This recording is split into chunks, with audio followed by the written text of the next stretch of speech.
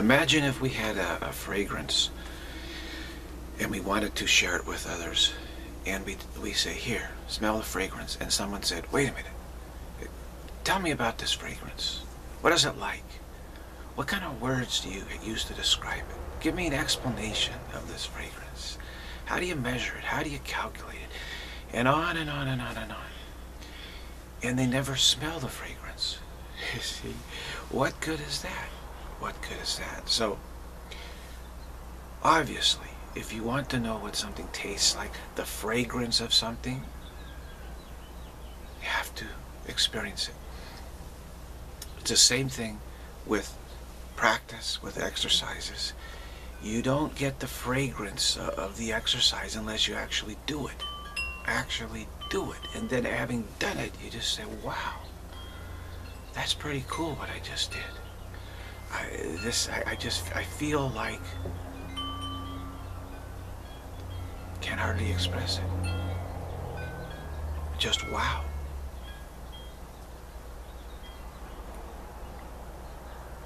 Like someone tells you about a wonderful fragrance, you smell it and you just say, wow, that's great.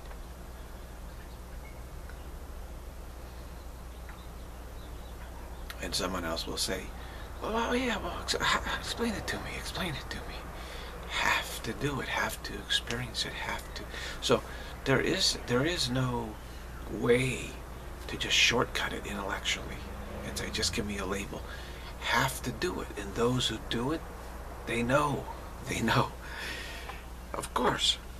And we all know this, but there's some things we don't want to do because of the continuity fear. So we, we try to figure out, is there some way around this? Because uh, no, there's not. There is not. So in phase four, where we are at now, we're in a phase four situation. The world is in, is in its own negative phase four, as as it were. To tell you the truth, it's uh, it is so much. The world is so much, so far gone, more than we know. My opinion is the world, this world should be quarantined. In fact, they should have the most strict quarantine possible placed upon it right now. Quarantine this world right now. That's how bad it is. What it's doing is, is promoting a dissociation where we dissociate feeling, intuition, spirit, knowing, oneness. We disassociate that whole truth of, of feeling, intuition, Holy Spirit, Spirit, knowing, being. They're, by the use of technology and gadgets and machines and all of this, they are dissociating. They're teaching, they are promoting dissociation. Like these driverless cars, which are coming, which are being legalized. The legal framework of, framework of insurance, DMV, all of this is being ironed out here, right here in Silicon Valley. Uh, drones are being used already and the legalities being ironed out is how to have drones be doing all this stuff for us. Okay. Driverless cars, drones, all this. Take the human out of the equation, so to speak. Overlooking the fact that what's really going on, besides just the flesh, is feeling I have a feeling. I have an intuition. The Holy Spirit is guidance. The Spirit, the knowing, the being. You see, all of that. For instance, when I'm driving, many, many, many times, and in general, I am aware of not just where I am, but, but where I'm going and what the conditions are where I'm going, what the situations could be. For instance, there have been quite a few times where I've been driving and suddenly I get this knowing, like, hey, you know, pull over or stop or go slow or do something. And then around a blind corner or, or some situation, uh, something happens where I would have gotten crushed if I hadn't have done that. absolutely. If that could happen just recently. I said, I said, you know what? I better just slow down and pull over here. And then here comes this gigantic truck going around a hairpin turn that swung around going too fast and would have would have just crushed me. You know, probably killed me. Okay.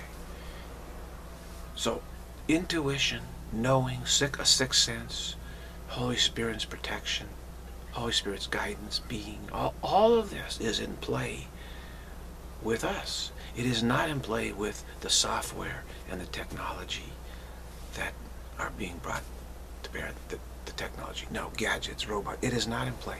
So they're taking that, they're splitting us away from that. They're disassociating and saying, eventually it will be, oh, well, in order to feel safe with these driverless cars, everyone has to have them. So there'll all be, you know, little pods that all interact with other. So we can't have any human drivers because the, the, the cars can't quite deal with human drivers. You know, it, it's like this. There's no question about it. How it's going to go. This is totally unacceptable. So this world is an apostate world, really. It's very much an apostate world. It is very much should be put under the most the strictest quarantine. Technology is not the way to go at all. It is not the way to go at all. This, this brings about a tremendous dissociation, deepens the problems that we have, for sure. It's, it's, a, it's a clever way to just basically say, don't worry, we'll solve the continuity problem for you by just, you don't have to re, uh, return, drop your stance of hallucination and thus return to awareness of reality. You can stay deluded forever and you can be happy because uh, you, you know, these driverless cars, take me, you know, people be using more and more drugs, more and more intoxication, more and more, you know, impairment and everything. They have these, you know, driverless cars. That's, oh, let's go to the bar, and, you know, just get, let's go party, more and more parties because people will be safer, you know, oh, oh, yeah, we're saving lives, we're having, we go home in these driverless cars. Whereas now, like driving is, for me, it's a great way to stay very sober, very focused, very disciplined, which is very great. Hey, I'm driving. Quiet. Hey, I'm driving. I'm focused. Hey, I'm, hey, I'm got my. I'm aware of my attention. I'm aware of the greater field of my attention. I'm aware of other people's attentions. I'm also very kind and compassionate. There's a there's an interaction between humans when we're driving, which is hey, your safety is in my hands. My safety is in your hands. There's a trust there. You see, there's a sacred bond when you're on the road. Very important. It's very spiritual driving actually. you see another car, they might they need to get in or some situation arises and you say, hey, go ahead, go ahead, go ahead, go ahead, like that. Or they signal you, no, you go ahead, you go ahead. There's there's all sorts of sort of, uh, you know, actual communication going on between drivers actually that's subtle. Very subtle, very subtle. You get to, like for instance, you get to stop at the same time as somebody else. They're turning right, you're going straight. You go, hey, go ahead, go ahead, go ahead. They thank you, thank you, thank you. So there, there, there's a there's a interaction that helps humans uh, be kind to one another and considerate to one another. You see, in this sort of thing. There's all sorts of discretionary decisions that are made when you're driving, and you may just feel like, hey, uh, a car wants to pull out, for instance, from a side street, and there's a line of cars, and and uh, you say, hey, go ahead, I'm, I'm going to stop and let you pull out. Now maybe the, the driver is, is some aggressive, pushy person, and you maybe you don't feel like letting them get in, and so you don't. Or you see somebody you feel, wow, I, I feel a good feeling. Hey, go ahead, you know, get in front of me or something. All of this stuff, it, it uh, binds a community together. These, are these, uh, I don't even have a term for them. These, the people who are involved with these gadgets and like driverless cars, etc. You know, where's their awareness and context? It doesn't exist. And of course, they rationalize, and they're very good at rationalizing. Oh yeah, we we got that figured out too. You know.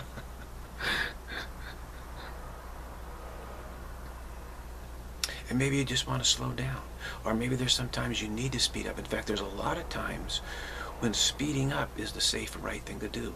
There's so many subtle value judgments being made when you drive that driving is actually a type of meditation. So the idea of taking that away from us and just, yeah, everything's programmed. I don't want to live in such a world at all. Do not, the, the future of this world, I don't want to be here. Don't want to live here. I don't have anything to do with it, actually. It is a exercise in dissociation with our spiritual being, is what it really is, which is why this planet should be quarantined and probably already is, and should remain so. And this is above and beyond just, you know, non-dual realization, which we all have to get to, which is really dropping the stance of hallucination, dropping the stance of an hallucinator. Uh, you see, the stance of a hallucinator is misinterpreting what is there.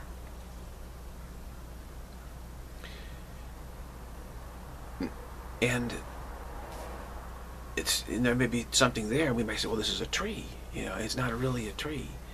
See, so we're, we're projecting, stance of a hallucinator projects. Uh, anyway, we've gone over that in previous videos. We have we have to drop that stance. That doesn't mean that everything disappears. Thingness, as we have been hallucinating, certainly we'll recognize that was hallucination. There's just this, there's separation, there's no separation, it's all, all just a single solid oneness without any break in it whatsoever. We certainly have to do that. But question is, you know, it, is is this world where we have to do this? Is my question. I, I, you know, living here in the Silicon Valley, we're aware of, of what's coming down the pipeline for the world. And I can tell you, I don't want to have anything to do. I want to wash my hands of this world entirely. Don't want to be here. Because this disassociation is insidious. And it is being promoted through all the media, the movies, the television, the books, the magazines, everything that we're taking in, almost everything, is actually uh, intentionally boosterish and promoting and marketing this spiritual disassociation to us. So we are essentially, by living in this world, becoming more and more tone deaf. More and more tone deaf. Now here's an example. Let us say there's someone, a very good pianist, sits down and plays this beautiful song on the piano to some someone. Uh, let's say an audience of deaf deaf people. And you get they get up and say, blessings to everyone. I hope you enjoyed it. And they say, what are you talking about? They said, well, I just played this, you know, the, the, the, the, song I just played. They said, we didn't hear anything. of course, you know, uh, this is just an example. So you may be signing them, you know, how'd you like it? In other words. And uh, said, what you, I, I just played this beautiful song. You, didn't like it or what? They said, no, you didn't play any song. You didn't play any song at all. We didn't hear anything. If we didn't hear, we didn't hear anything. How, how could you play the song? In other words, they're deaf who don't realize they're deaf. They're tone. deaf. The tone deaf do not admit that they're tone deaf because it's, it's a defensive posture. If they admit it, they become aware of it and become it feels vulnerable to them. So they say, no, you never played any song at all. So trying to reach those who are tone deaf is, is totally useless because no matter what you do, they will insist you never did anything at all because they say, we didn't get any benefit. We didn't hear any song. So you must have not played the song. And I said, I've been playing this song for 10 years for you, 20 years, 50 years. They say, no, you never, never spent even a second doing it because we never heard anything. So you're lying. You're a deceiver. You see how insidious this situation is becoming, working on being tone deaf. You then turn you turn the whole thing around, and those who are trying to help you, you insist they're deceivers and liars because they say, I never got any help like that. I never got any help, so you must be lying. That's the problem of being tone deaf. So, and people be working here, this world is a workshop for, for tone deafness, actually. It's a workshop. Now, we have our own workshop here, don't we? And we use various uh, help as we I certainly say the Holy Spirit is the only teacher. There really is. It's the one that was with everyone to the very end till everyone is saved and then it will remain with us forever. That's the ultimate teacher, and it's within all of us, the Holy Spirit. Now, there are helpers of the Holy Spirit who give us great boosts and encouragement and help, for sure they do. One of one of these uh, has come to my attention is Longchenpa, and this is a book that was published in 213. Uh, Spaciousness, the Radical Dzogchen of the Vajra-Heart, uh, Longchenpa's Precious Treasury of the Dharma Dhatu. Longchenpa's Treasury. And this, this is widely viewed as the most precious of precious books, certainly in, in, in Dzogchen.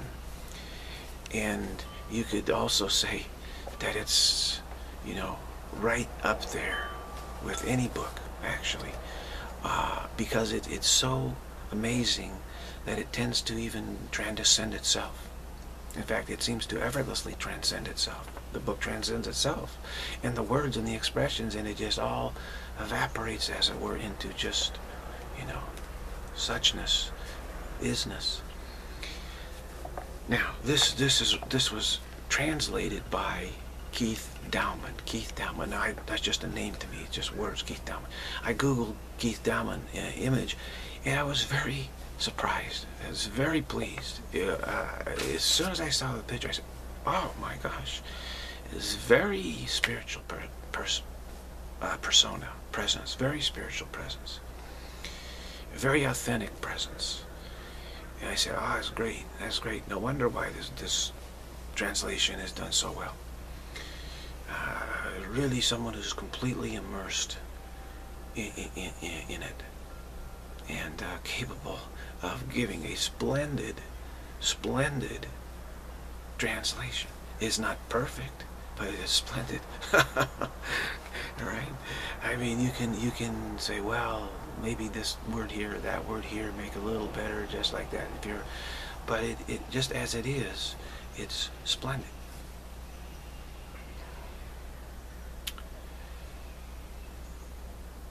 So that this is certainly very helpful for where we're at because we do need to make this rec essential recognition.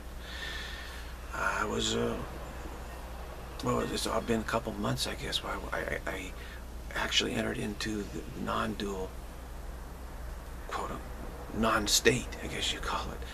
it was simply abiding, abiding in the absolute non-dual presence, ambience, and I did see there was something that was attracting everyone's attention away from this, what, what my attention was on. I was, I, I was aware that, quote unquote, the others, there's a lot of attention that was not on this and saying it needed to put attention on something else.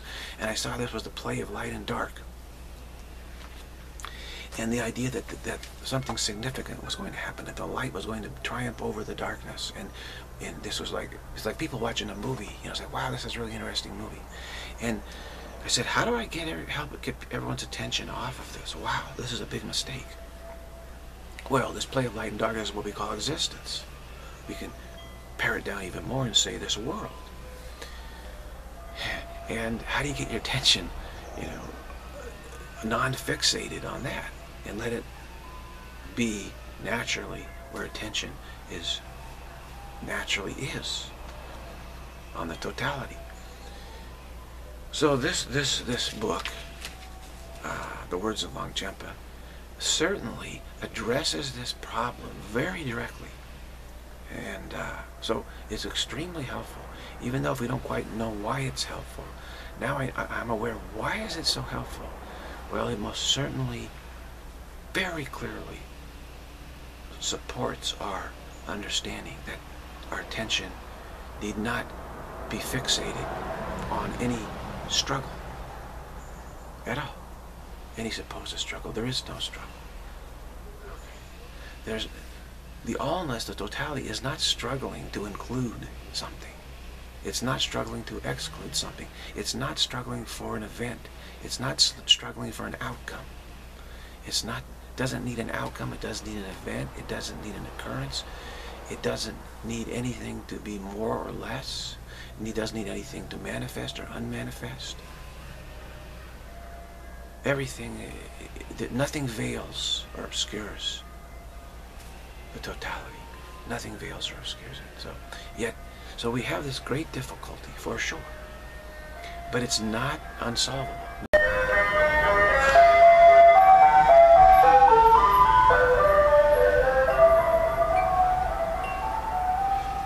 Might say that's the, the, the bus for all of us here in this world, isn't it? Yeah, we're all struggling, aren't we?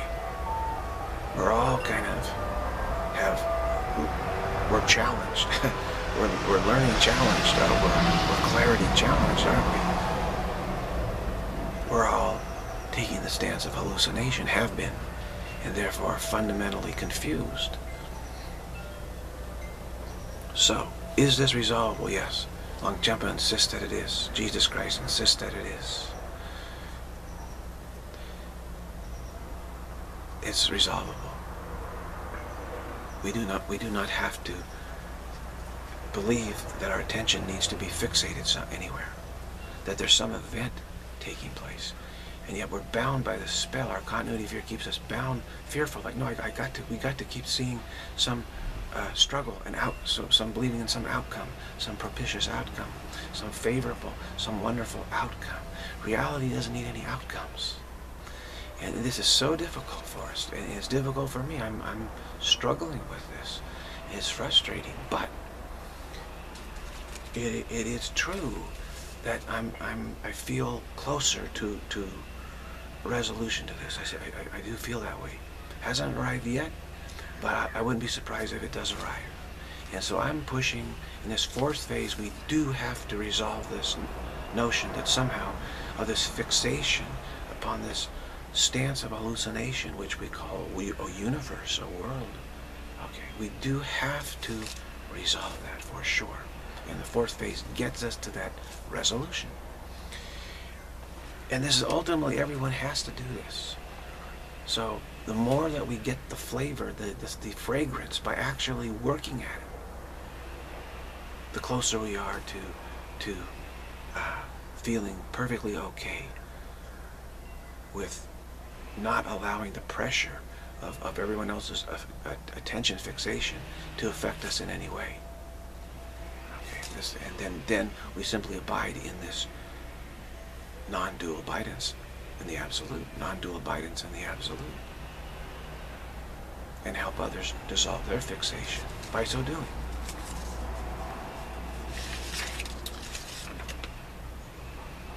Okay, so with that preference, preface, we realize that we need to practice in the in the mood of, hey, I have a severe problem.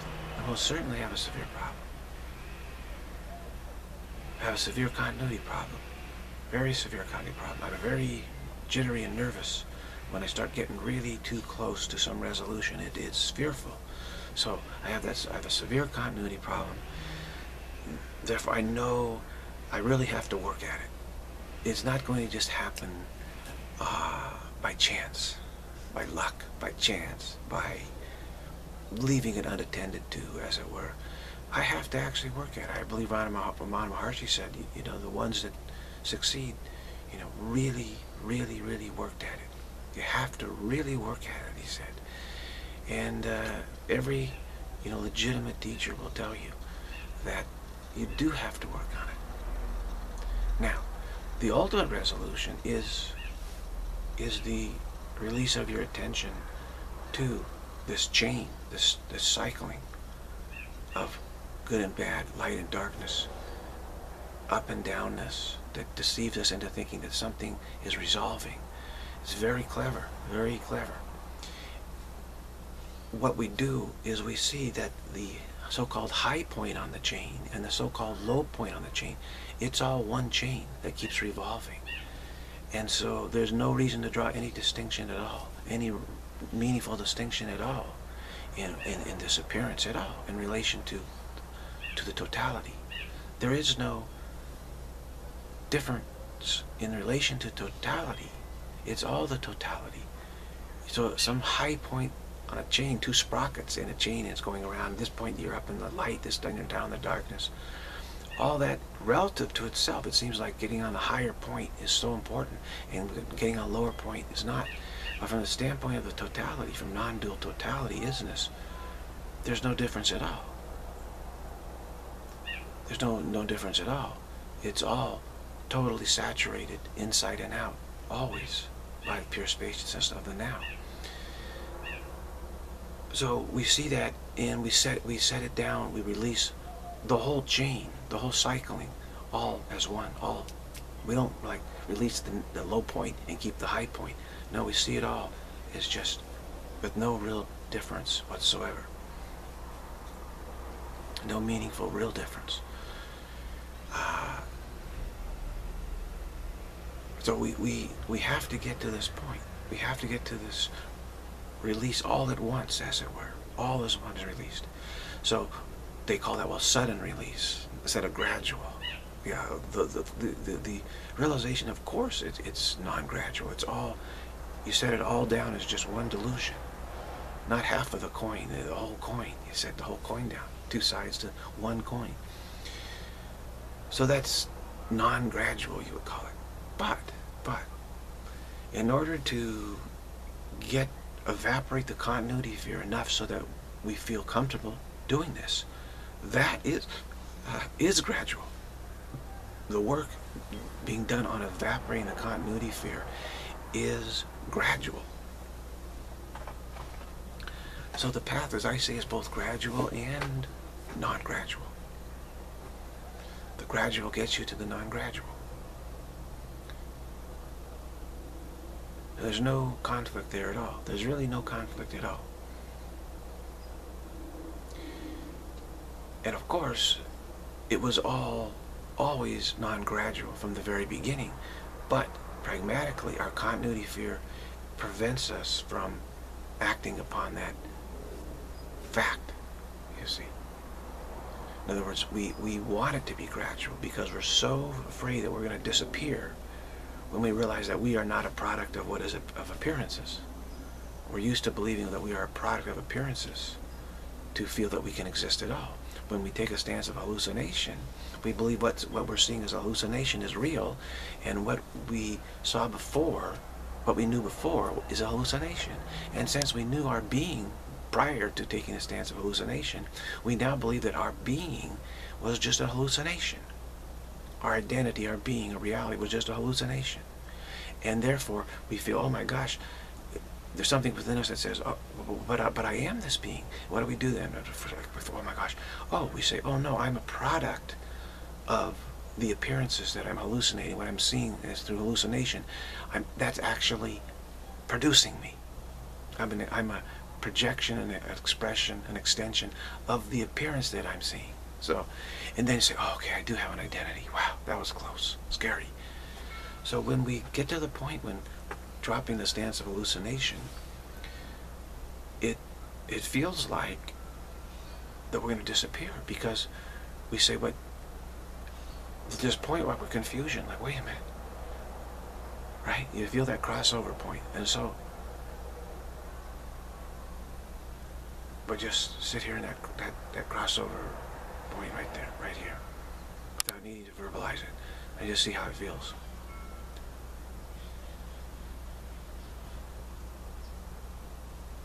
There's a moment like a, a like you think you might panic, but not really. Okay, interesting. I just, I, and started, as I started to explain it, I became aware of it. It's not so bad. It's not so bad, really. Anyway, it's just that little crossover point. We just cross that, and then we're okay. Everything's okay. We're aware of being, of oneness. And say, oh yeah, this, this is real. this is real. But from a standpoint of plausible logic, from what we've been used to, there might be a little, whoa, wait a minute, am, am I going to vanish, you know? I see I'm no longer a product of, of, of, of what I was hallucinating. That hallucination is gone, but I thought I was a product of it. So there, if it's not there, what, what I thought was was the ground of my being, if it suddenly is, if it's not, if it's gone, I'm thinking, well, I must be gone too. I must be gone. But that's an illogical conclusion. You see, it's an unreasonable conclusion because we've brought in the context, the greater context of taking a stance of hallucination and how we then automatically end up inferring that what we truly are is was just a hallucination. And and and then yet we still are what we are. So then we have to really try to grab really believe that we are a product like of nature for instance a product of nature. And if we see that there is no nature okay we're automatically going to feel wait a minute I don't exist however I remember oh I, I was only believing I was a product of nature because I took the stance of hallucination therefore I thought that what I was before was unreal and you see as we loosen this up this was kind of this limbo that we step through, almost like a phase shift, some sort of shift. It doesn't feel so scary anymore. Doesn't feel so scary anymore. And so just abiding in this, abiding in this, very close to it like this, you feel the strain. It's the strain of fear. It is a strain of, of, of the jitters and you just full stop in the now of that. This is like incredibly helpful practice. Do.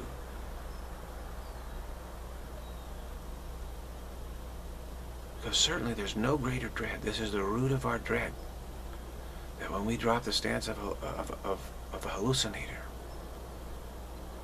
we have this dread that we will cease to exist. or we will exist in some way that is we, we, we really can't identify with. We, we, won't, we wouldn't see it as identity. That, that's, that's part of it too.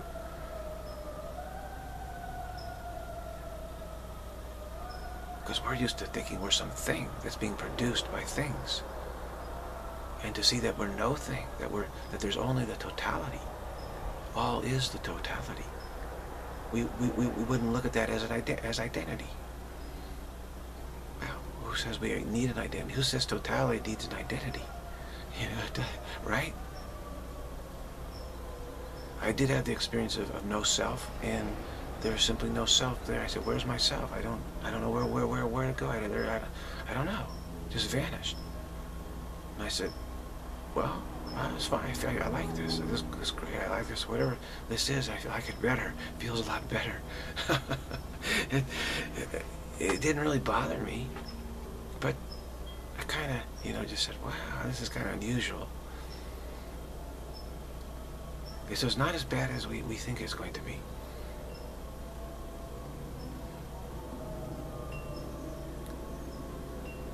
Who says that we need to have some thing identity in order to experience the totality, the oneness.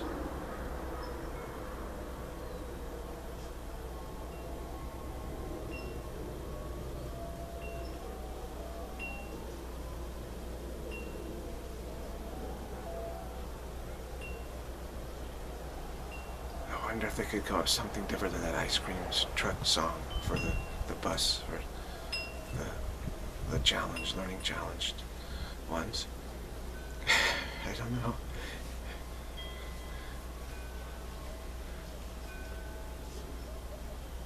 But really, they should put that tune on every TV program and movie there is as the soundtrack to it, shouldn't they?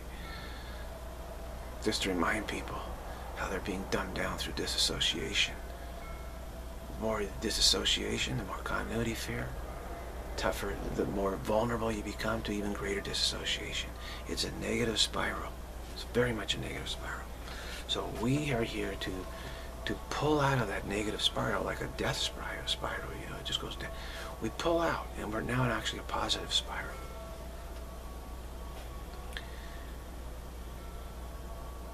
And keep in mind, again, always listen in the mood of repentance and the full stop in the nowness, full stop in the burnness.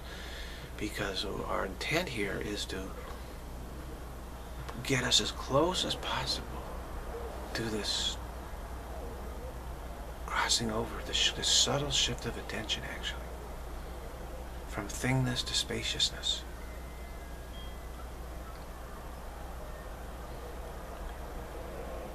Subtle shift from identity as, th as, as thingness to spaciousness. And by spaciousness, I don't mean space between things. I mean the, the, the spacious, pure spaciousness of the totality. It all is one, all is the totality.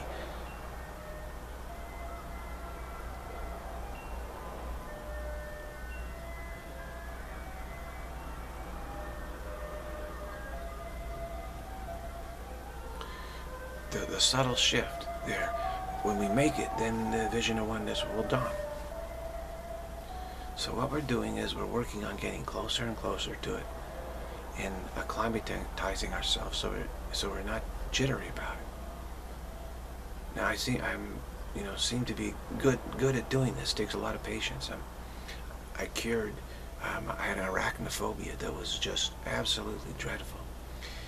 I've cured myself from a, a lot of troubles by this this type of gradualism It took me six months to, to cure arachnophobia, but I did it. Didn't take any drugs, didn't take any medication. And if I hadn't have done that, I would still have it. You know, I know many people have so many phobias.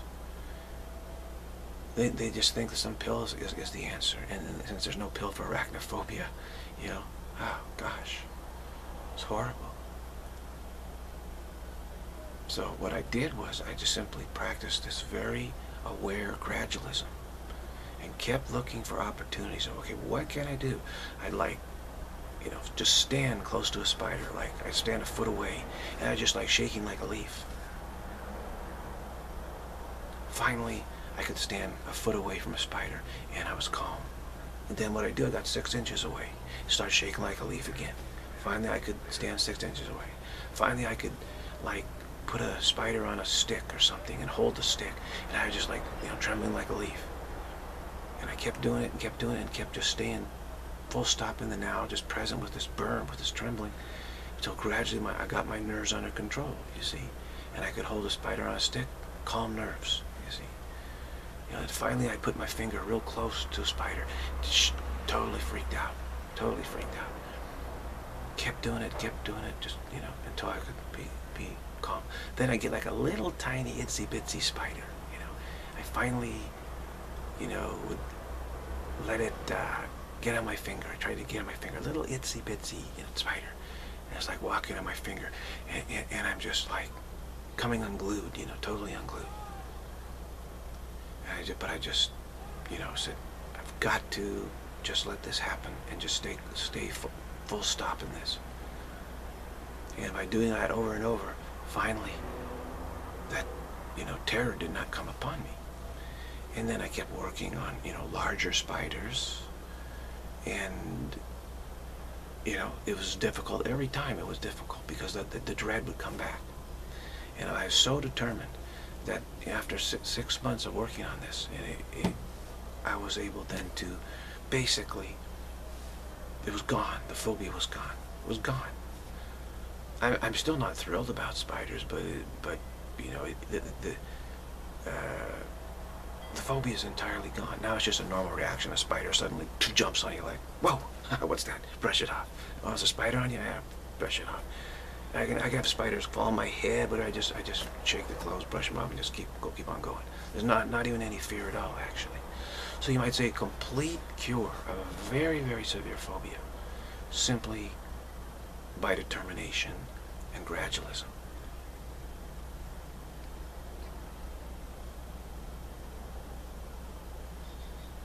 Now, the, the, the tricky thing is, is when, when, when the Dzogchen, Longchenpa's teaching says that, you know, we know, must transcend gradualism. What, what is being said there is he's saying you don't get rid of part of delusion and then part more of it and then more of it and more of it. That doesn't work. That doesn't work. You, you just develops a neurosis. That's what he's saying. But what what we're doing here is we're getting evaporating the fear of setting it down all at once. We're gradually evaporating the fear of setting it all down at once. Okay? So there's a gradualism leading towards the non-gradualism, you see. That's very different than saying, let me, you know, get emphasize this part of the dream and the cycle and get rid of and de-emphasize that and work on this and work on that. Let me get rid of that. There's here. See, this is very important. We are not crusaders in any way. We're very humble sinners, meaning we've taken the stance of hallucination trying to be greater than God, trying to claim we're the author, a real author of, of reality. You see, no, we're not. Trying to reverse the direction of creation. So we're, we're humble sinners with a very severe continuity problem. This is how I advise everyone to approach the situation.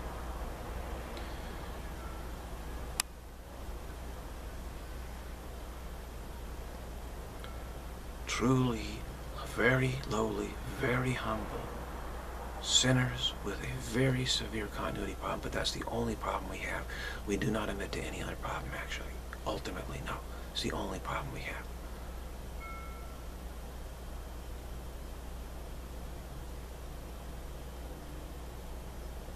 Which means it's the only problem we need to focus on, actually. We really just need to focus on that. Everything else is just an expression of this sphere. Of this fear. It's like a tree with many branches, right? But the, the, the tree is the tree of the continuity fear. And we can name all these branches, you know, arachnophobia, this, this, financial problems, all these problems. It's the tree of continuity fear, for sure. So we approach everything from the standpoint of, of great humility. I have a very severe problem. Therefore, I have to be very determined.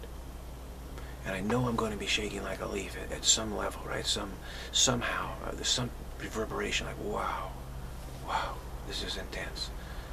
I'm not some nonchalant, I'm nonchalant. Oh, I got, I got no sin, I got no fear, I got no problem. Uh, what? No, it's easy. Just, you know, no, it's not like that. This approaching this this fear of, that if we when we drop the stance of hallucination that will vanish or not have any identity is an incredible dread. It is the dread of dreads. I've been working on it my whole life. And that's how intense it is. So there, there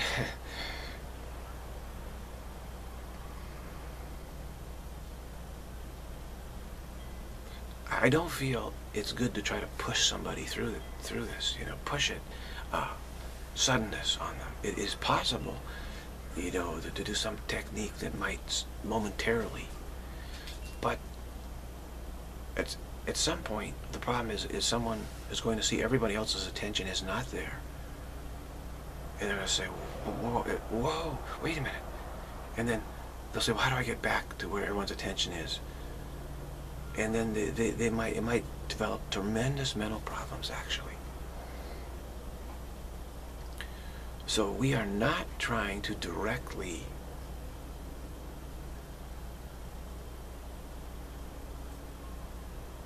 be direct, directly be a direct set set drop the stance of hallucination directly as you know we're not trying to do it. What we're doing is we're evaporating our continuity fear so that naturally, as Longchenpa says, what happens is the egg that the Garuda bird is in, with its wings fully formed actually, it naturally cracks open of, of its own accord when the residue becomes thinned out enough. It just opens up and the bird flies out easily and freely, serenely, no troubles. So we're not trying to crack the egg, we're just trying to thin it out. So it will crack when it's thinned out enough, when the continuity fear, when you're able to feel, I, I, you know, I, I, when you're able to, to, to your continuity fear has, has been diminished to such an extent, you're able to feel very comfortable within the overall context and the big picture and just, so it's not, not a problem. then you're not going to have any neurosis or psychosis or mental problems or bipolarism or schizophrenia or, you know, any, any you're not going to have any of that.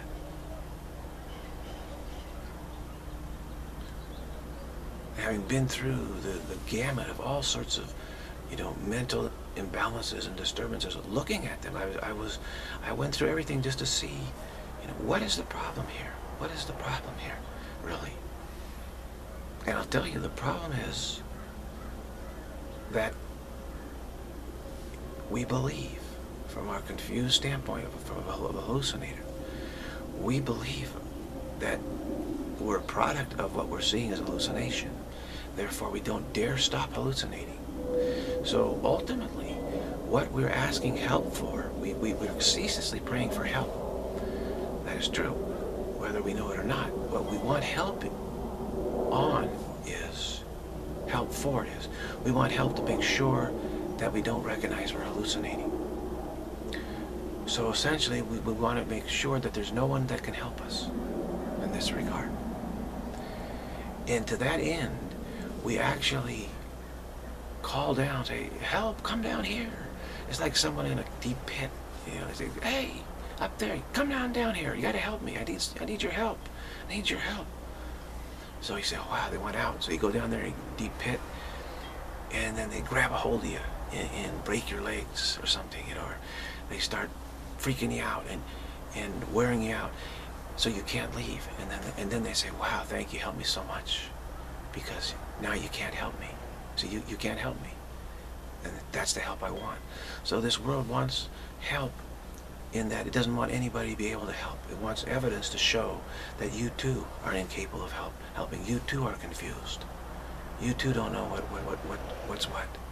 And they sigh the big relief that they say, thanks so much for coming down here and being sharing my confusion.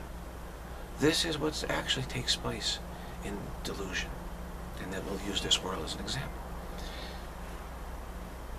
So to think that this world wants genuine help is not true at all. They don't. They really don't. They don't know their own best interest. They believe that to be to be to reinforce the belief that there is a pit that they can be stuck in, that's their salvation. So if you come here and tell people, hey folks, there is no pit. There's no pit at all. You're not in any pit. You're sitting on the ground hallucinating a pit they feel that you're the devil. They feel that you're, you're, you're, you're totally unhelpful and harmful actually to them.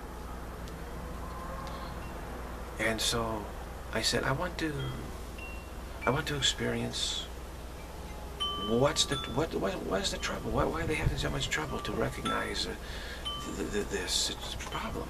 And it's because their, their continuity fear is so strong that they don't want to spend much time at all in, in looking at this issue.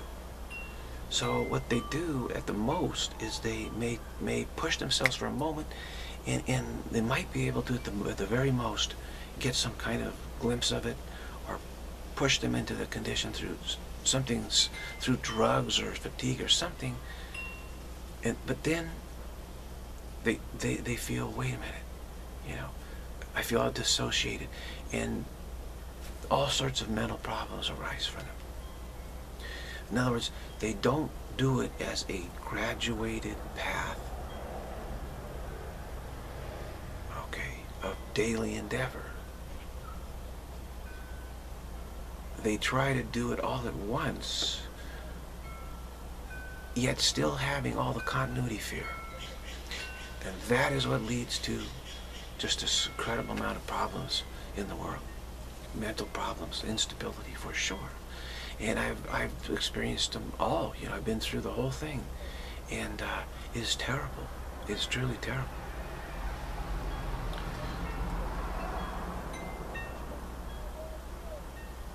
I remember like Meher Baba, he came, he said he came to the world to help these masts, I think he called them masts, who, who are very, who are stuck. They were stuck in some sort of dissociation and, and, and, and he came here specifically to help to help them out, is what is what he said. I'm not making any claims from Meher Baba, but this is just an example. Uh, there's all sorts of ways that we get freaked out, not approaching the situation in the right way. This is why this Ati Yoga, this Apex Yoga, this Radical Dzogchen has what's called Samaya, which is you're not supposed to share this with those who are not ready for it. because they could misconstrue it uh, as trying to force the issue instead of letting it naturally happen, you see. Fear tends to do that. When you're fearful, you tend to try to force things. No, knowing that that will prevent it from happening actually. But in, in doing so, in trying to prove that you really are interested, even though you're not, you can get into all sorts of mental problems for sure. And those are very, very difficult and tricky. And ultimately, the resolution for mental problems is the spiritual path of gradualism. That is the resolution. You have to decide to work on evaporating your continuity fear all the time. Just keep working on it more and more and more and more and more. And as you do that, all mental problems just melt away. You, you don't even know they've gone. You know, they just evaporate, evaporate. There's no point where you say, well, now I'm cured, or, or you know, or anything. It's just one day you just say, oh, I don't have any problem with this area of concern or something. I just, I don't feel anything at all, any trouble at all.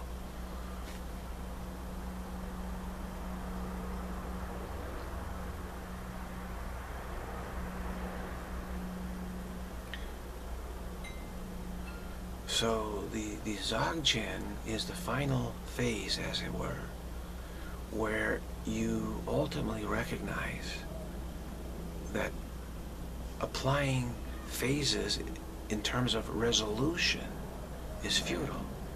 But that's okay because now the continuity fear has been evaporated so you don't need feel you any need to do that. You see. So but Samaya, there's an in, Keith Dowman points out there's an inbuilt sort of Samaya within the teaching itself. And that is, those who aren't ready for it aren't going to really understand it anyway. Big problem that we had in the West here, and that the Tibetan, Tibetans, Lamas, etc. understood, is drug use. Okay, promiscuity, drug use, the pagan mindset, they try to force things. They try, they're show-offs. You say, ah, if you can do it, I can do it. You know, it's just trying to say, I'm really happy with what I am down here in this pit. I'm really happy with my stance of hallucination. I'm not afraid. I'm, they're denying their continuity fear. They're unrepentant. So the unrepentant tend to be show-offs. And when they get this teaching, they say, hey, I can understand that just as good as Longchenpa. Yeah, I'll just drop, you know, a few tabs of orange sunshine and uh, whatever there is available these days. I don't know, but huh, and yeah, I got it. Wow. In fact, I even got it better. Like this is even greater. Look at all this structure and patterns and stuff.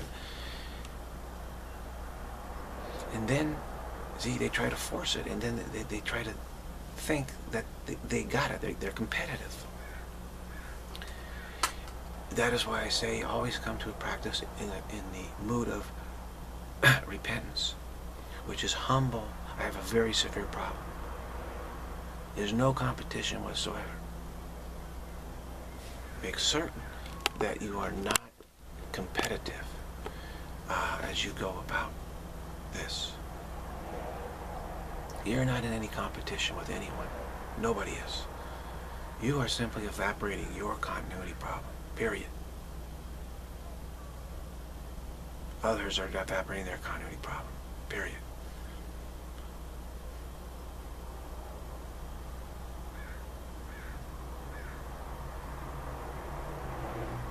Now, some thrive in a group setting where there's reinforcement for this. Some thrive without any group around because they might feel competitive in, in a group. You see, you cannot feel competitive with, with this. Otherwise, it's not going to, it will not work.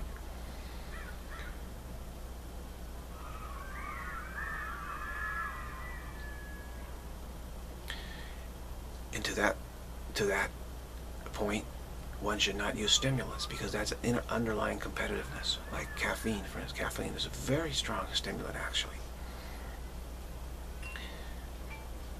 Whether whatever it's in, tea, whatever.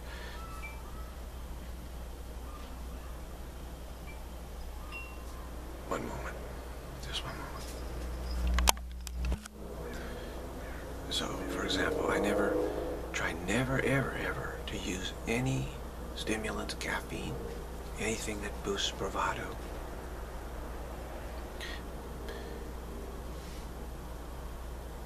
Even though I'm very tired, didn't sleep last night, a horrible night. Uh, I feel very tired now. That's fine. Okay, maybe I won't do as good a job, but I'll try my best. You have to knock out, you have to put aside the drugs, the, the fantasies of whether sex, what, violence, whatever those fantasies that, that make you feel like you're more potent and, and more vigorous and more competitive and more and can do a better job, you know, you're energized in some way. You have to put those aside for sure. Put the sex, the drugs, and the rock and roll. Rock and roll, you listen to a lot of rock and roll. You know, it just pumps you up like, wow, I can go out there, you know, and just beat the world. I'm a world beater. Have to stay away from that. That's all pagan, and that leads to, will lead to mental illness, actually. So,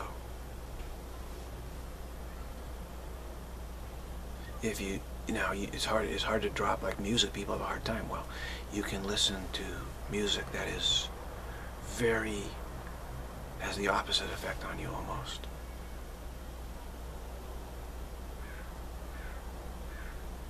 I, I listen to like classic country where basically it's, it's a pedal steel, it's very smooth, it's very slow tempo.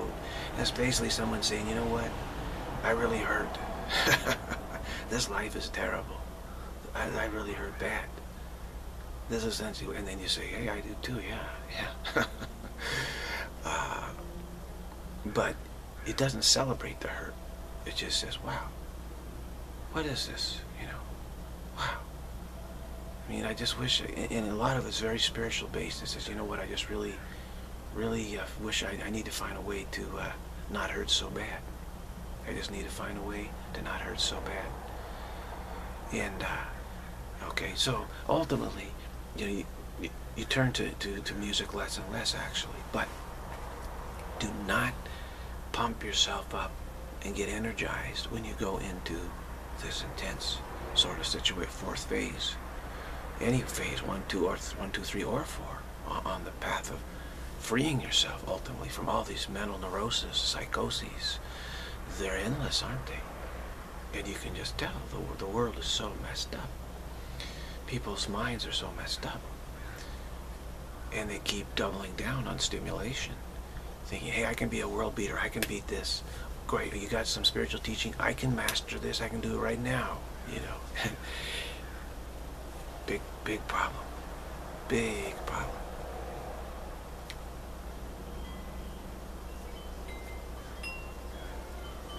So we always say mood of repentance, non-stimulated, non-pumped up, blank mind, calm mind, blank mind, full stop mind, full stop mode, mood of repentance, full stop mode, continuity problem, confession. I have a severe, very severe problem here.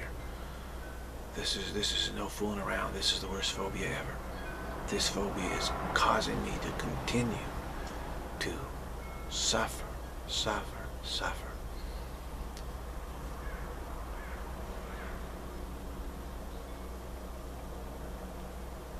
So prefacing all this is very important because how we hear is what we are experiencing. How you hear the tune what you're experiencing. And your hearing is how you're playing the tune. Your hearing is how you're playing the tune. So that's what you're experiencing. Now when we have this calm, we have this humility, we have this recognition of a continuity fear,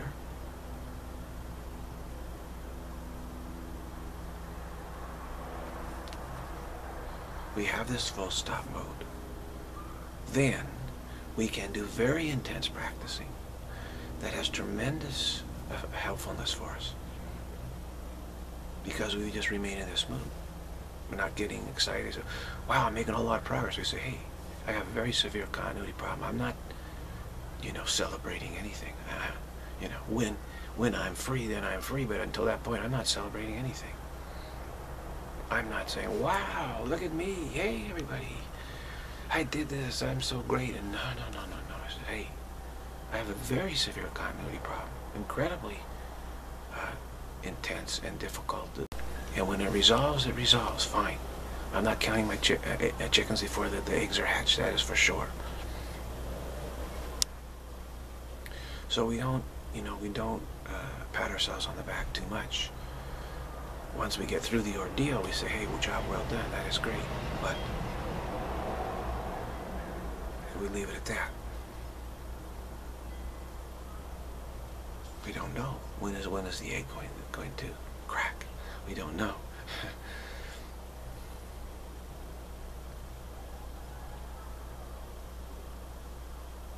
There's some who, you know, drill a little hole, you know, through great force so the egg peek out. So I'm enlightened. I know, know, I know enlightenment is like. You know, I'm gonna write a thousand books and tell everybody what it's like. no, we're not. We're not trying to drill holes in it, so to speak. Uh, just trying to thin it out, thin, thin our continuity fear. Boost the light a little bit here. See a gradual boosting of the light as the light changes. So a lot of the work is actually this preface work. A lot of it. That in itself is a profound exercise. Is to go through this clarification without jumping into an exercise, you see. The pagan, they want to succeed right now. I want to show off. Come on, give me the exercise. I'm going to nail it. You know, I'm, and yet here we are. Getting clear about context. Here we are getting clear about context.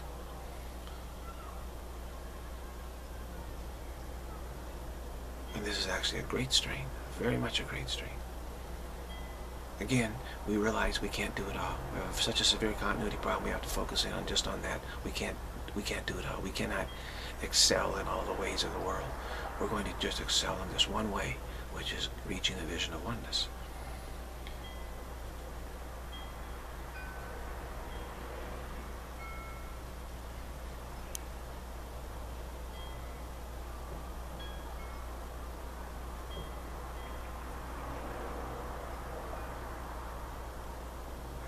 Big hurry. We're not showing off. We're not trying to finish it in two minutes.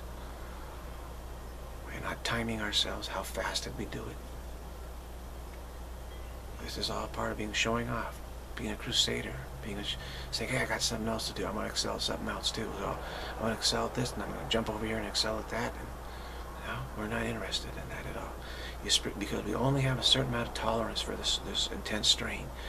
If we spread ourselves thin in other ways, we won't be able to do this. That's why the pagans will say, unrepentant ones will say, oh sure, I'll do it. How long is it going to take me? Ten, ten minutes? I, I, I can give it ten minutes. Sure, I can give it ten minutes. I should be able to master it in ten minutes, no problem. And we've all been there at some point, right? Where you feel, yeah, I, I, I can do everything. It just, I should be able to do it real quick.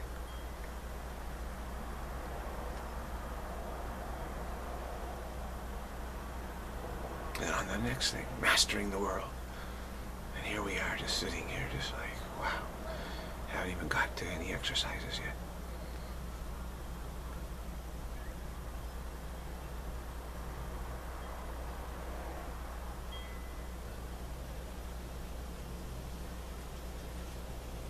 So don't force.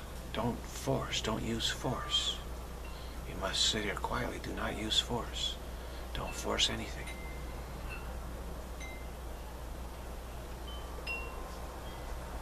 However, we do use insistence.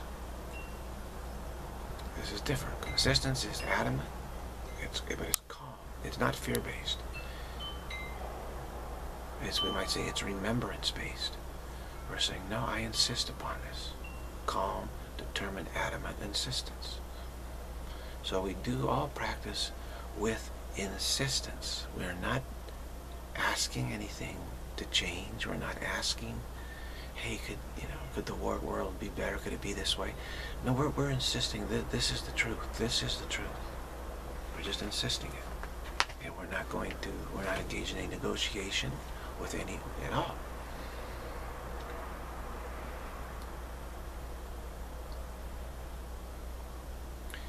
What is? Is this I am? Just I am. What is I am? The totality. So it's all I am, isn't it? It's the totality which is present everywhere. So this I amness is omnipresent, inherently so.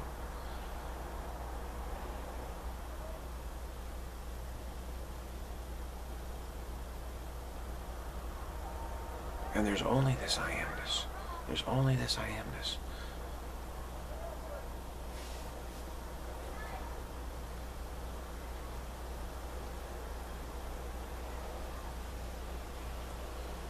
So we think there's uh, the I am, we call it God, and also other stuff. this is duality. This is this is our duality. This is our problem.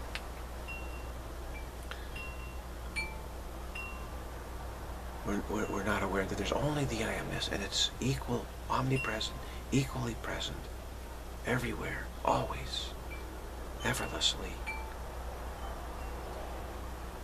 It is, you could say, the pure spaciousness, the zero dimensionality, if we want to use the labels, the, the absolute sheer translucent clarity, the clear light, the pure clarity, the clear light.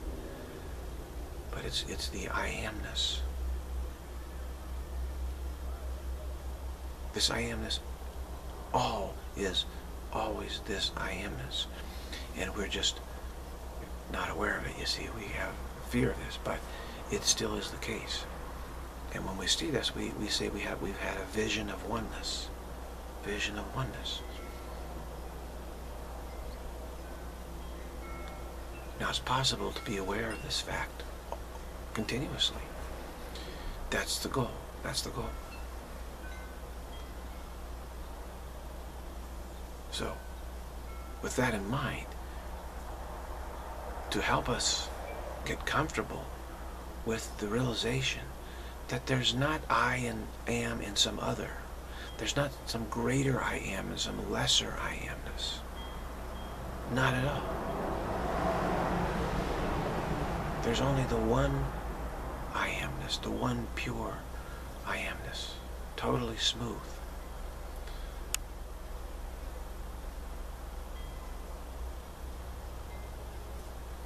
So we practice by looking at certain honorifics that we have used in our dualistic fear to separate different layers and levels of I amness to make us think that therefore we can be close to say that we can be closer to it automatically means we can be further away so of course we say no I want to be closer to God we say that right but underneath that, we're really saying, I want to make sure that it's possible to be farther away from God. Okay? And from this trick trickeration that we use, we have come up with all these layers and levels and belief that there are states of mind, that they're higher levels, lower levels, that they're closer to God and farther away from God, closer to I amness, farther away. There is no closer to I amness. There's no farther awayness to I amness at all. And yet we, we have this underlying structure of belief that this is very desirable to believe this.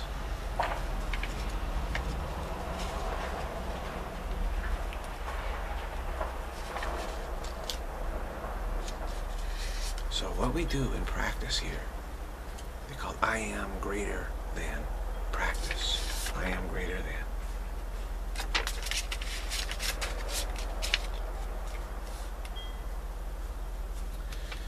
I am greater than practice is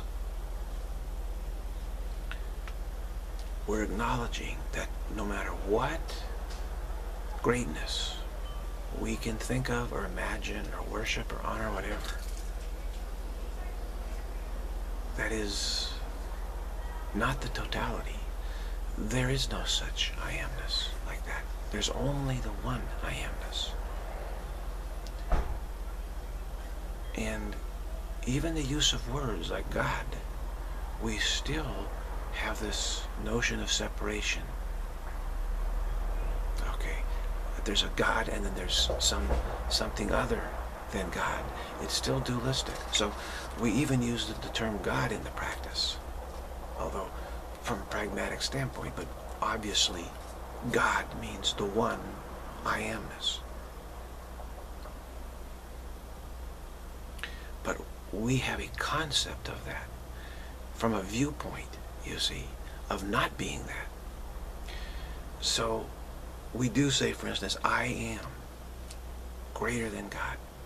Now, this is not saying like my viewpoint is greater than God. It's saying like I am is greater than God. You see? So there's an is there. I am greater than God. I am is greater than God. We're just leaving the is out. But I am, yeah, it's greater than God. Is greater than God, isn't it? Because it's the totality. It's not God and us. It's only the I amness. And our, our notions of God are, are very much dualistic. Okay? So we do use that. We're not trying to be profane here. We're not on a crusade of profanity or disrespect whatsoever to anyone, see? So I'm painting the context that we're, we're using this as. So, we are, we are going to practice in the mood of repentance, not on any crusade, to get us more and more comfortable with this just I amness, I amness. The oneness, the vision of oneness. So basically, I am the I amness. I amness greater than God. I am is greater than God. I am is greater than goddess. I am is greater than God, goddess. Okay, so it's like that. Now, I'm going to, we're going to practice some honorifics of various honorable positions, spiritual positions, various traditions. I am greater than any Rigpa. We'll use some Tibetan Buddhist honorifics, some Buddhist, Tibetan Buddhist, some Hindu, some Christian, various honorifics. I am greater than any Rigpa. I am greater than any yogi. I am greater than any Dakini. I am greater than any Bodhisattva. So, actually, I should be saying these twice, and then you should give a pause and let you say these twice. So, I am greater than any Arhat. I am greater than any Arhat. I am greater than any Buddha. I am greater than any Buddha.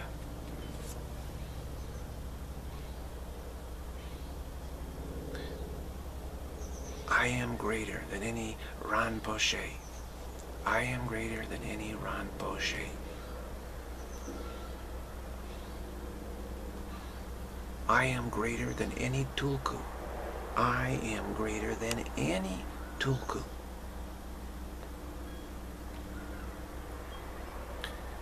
I am greater than any lama. I am greater than any lama.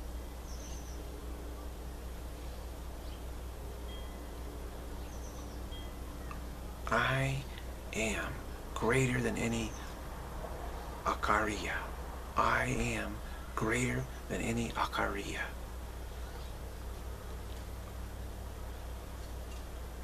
Or Acharya. Uh, I am greater than any Anagami. I am greater than any Anagami. I am greater than any Jnani. I am greater than any Jnani.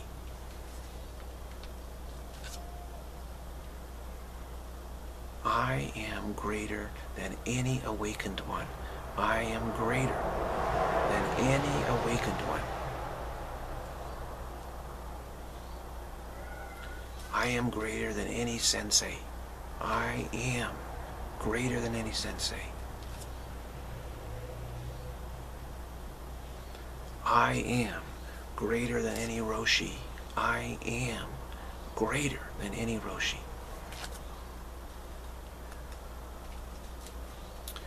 I am greater than any Rishi. I am greater than any Rishi. I am greater than any Baba. I am greater than any Baba. I am greater than any Maharaj. I am greater than Maharajini, Maharani. I am greater than a Maharajani. How do you say it? Maharani. I am greater than any Maharani. I am greater than any Maharaj. Okay.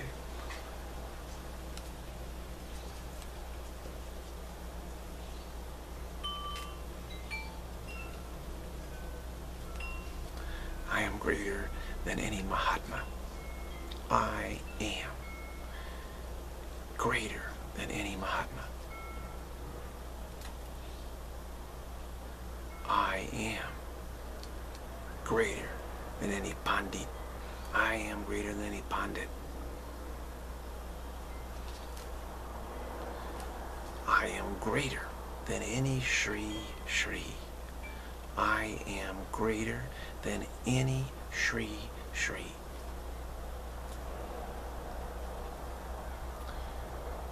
I am greater than any Swami. I am greater than any Swami.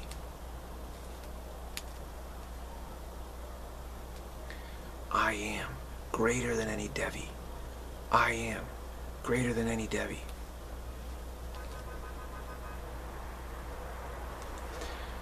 I am greater than any Mahadevi. I am greater than any Mah Mahadevi.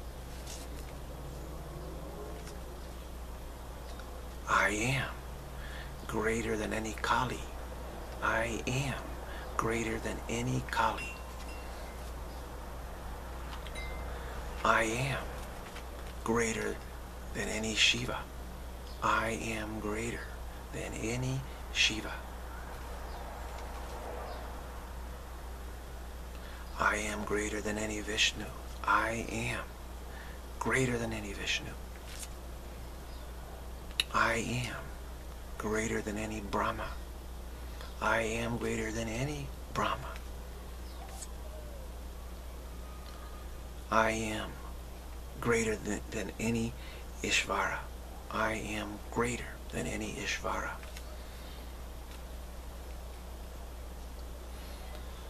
I am greater than any Bhagavan. I am greater than any Bhagavan. I am greater than any Narayan. I am greater than any Narayani or Narayana. I am greater than any Narayana. I am greater than any abbot. I am greater than any abbot.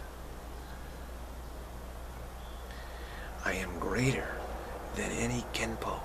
I am greater than any Khenpo. I am greater than any Panchen. I am greater than any Panchen. I am greater than any ach Acharya. I am greater than any Acharya. I am greater than any Drupa. I am greater than any Drupa. I am greater than any Chopon. I am greater than any Chopon. These are Tibetan honorifics. I am greater than any Gompa. I am greater than any Gompa. I am greater than any Gomchen. I am greater than any Gomchen. I am greater than any sampa. I am greater than any sampa.